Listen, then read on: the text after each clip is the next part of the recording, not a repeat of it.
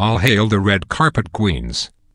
Emily Blunt, Dame Helen Mirren and Sally Hawkins step out in breathtaking style as they add a touch of British glamour to the 90 Emily Blunt. Dame Helen Mirren and Sally Hawkins led the British glamour as they stepped out in style for the 90th Annual Academy Awards on Sunday evening.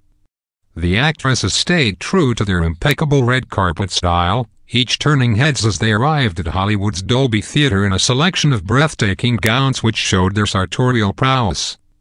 Leading the pack was 35-year-old Emily, who looked sensational in a high-incline Victorian-inspired duck egg blue gown with tall shoulders, frilly white bodice detailing and a dramatic train. With her golden locks styled into a lustrous chignon, the Devil Wears Prada star, who is married to actor John Krasinski, complemented her flattering ensemble with glittering raindrop earrings. Toting a white pillbox clutch, the mother of two will present at the awards show teamed her earrings with a selection of sparkling rings, while she highlighted her natural beauty with a dusting of flattering makeup. She scooped a coveted Best Actress Academy Award back in 2007 for her portrayal of Queen Elizabeth II in the critically acclaimed film The Queen. And Dame Helen who has also signed up to present at the awards gala proved herself worthy of taking on the regal role when she stepped out and looking sensational for the star-studded celebratory gathering. The 72-year-old actress wowed as she hit the Dolby Theatre's red carpet in an elegant, form-fitting blue gown, which featured long sleeves, a high incline and fishtail silhouette. Adding an extra touch of sparkle to her simple yet chic gown, the screen star dazzled in a diamond and sapphire statement necklace, which was teamed with a pair of matching earrings. Helen, who is set to serve as one of the presenters at the glittering awards gala, stood tall in a pair of black open-toe heels, while a blue pillbox clutch remained in her hand as she posed for photographers. As she made her way down the red carpet, she was seen striking a pose with 61-year-old songwriter Diane Warren, with the pair plucking out their smartphones to snap a series of selfies. Meanwhile, Sally Hawkins arrived in award-winning style as she prepared to battle it out with Meryl Streep, Frances McDormand, Saoirse Ronan and Margot Robbie for Best Actress for her efforts in The Shape of Water. The 41-year-old looked stunning as she stepped out in a glittering champagne pink gown, which blended into a midnight blue embellished hemline and featured prominent shoulder pads.